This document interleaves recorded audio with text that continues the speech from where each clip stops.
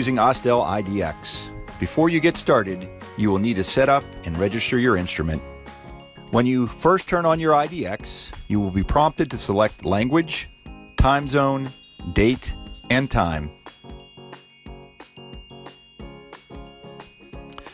You will now be guided through the registration of your IDX.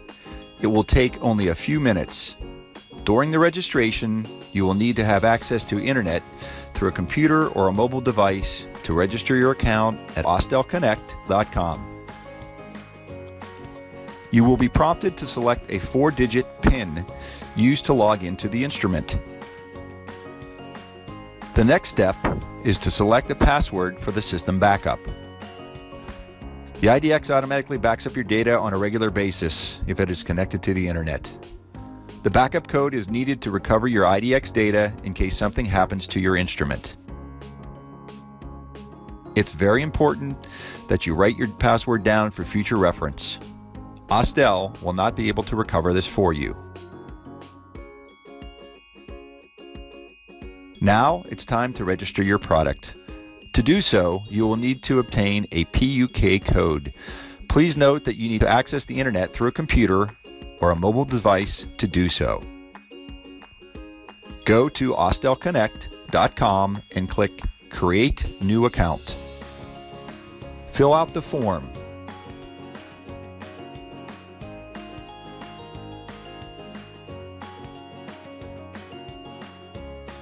You need to accept the terms and conditions. You can read those by clicking on the link to the right. Then click Next. Please check your email. Click the link in the email to activate the account.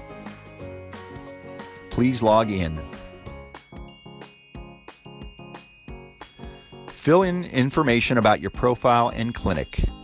This will improve your content on your dashboard. You'll be able to compare your clinic with data averages from other Osstell Connect users around the world. Click Register Instrument to go directly to your own device page. Click Add New Instrument. Now you need the serial number on your IDX instrument. It is located at the back of the IDX. Fill in the serial number. You also need the registration code shown in the IDX. If you have trouble finding the code, please contact us by sending at support at osstell.com. Fill in that registration code and click Next. After successful registration, you will see your PUK code.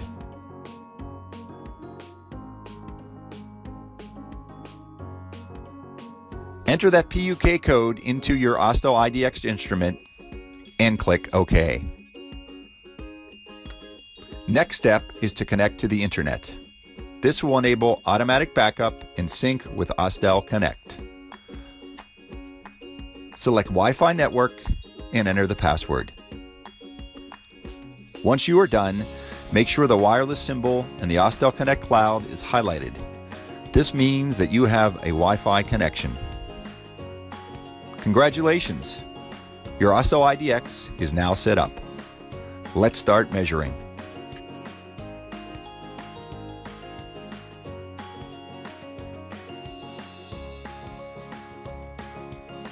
The Osstell IDX allows you to record data. This data is valuable for your implant treatments. The unit helps you to maintain a data set and tell you over time what happens to the implant. It helps you to make an objective decision. Remember that it is important to measure an implant placement for a baseline reading and again before final restoration. This video will guide you to help you get the best value out of your IDX.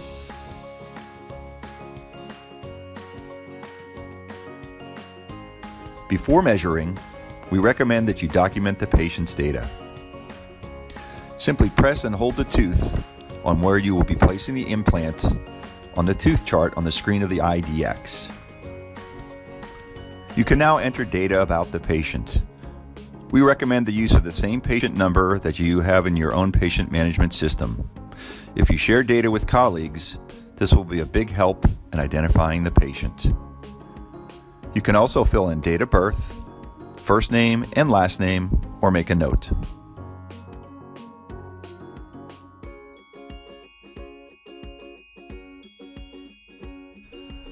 We highly recommend that you complete risk factors in the medical data. You can choose the implant model by clicking on this field. You can see your frequently used implant systems on the left side. Select the brand and then the model. The appropriate SmartPeg type for the selected implant is shown under the implant. You can also complete information about the planned prosthetic solution. Click Save and then OK. The site is now prepared.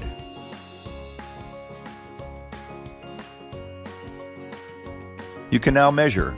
Simply click on the tooth and measure from two different angles. That would be buccolingual and mesial distal. The ISQ values will appear on the screen. They are color coded according to the ISQ scale. Click on Save. Choose applicable situation for your measurement session. This information will be useful for you later when checking on your ongoing implant treatments and Osstell Connect. You can now either or continue measuring. When you later perform the second measurement for this patient, click on the patient list. The easiest way is to search by entering the patient number.